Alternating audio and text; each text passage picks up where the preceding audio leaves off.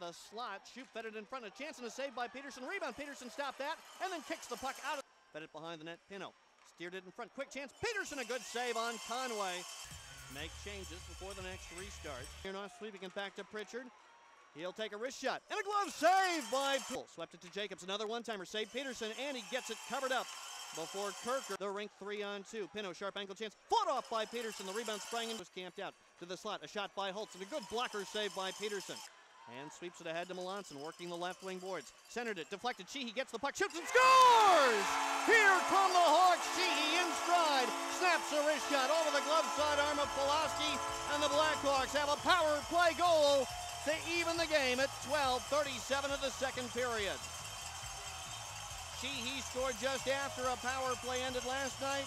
Drew Melanson sets him up in transition, and both teams have a power play. Mirnoff picks it up one on one against Friedman. Poke check by the Hawk defender, who knocks him down for good measure. Puck comes free. Horton jabs it off the boards, gloves it to the line, and steps out to center. Two on two with Wiedela.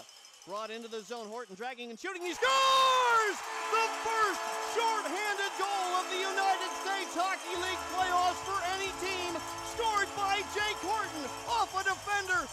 past the netminder Pulaski. Here come the Hawks. 39 seconds into the third. Comes off the wall. Stick handles back towards the slot. Gets a shot away. Glove by Petersen. Making the save with no rebound.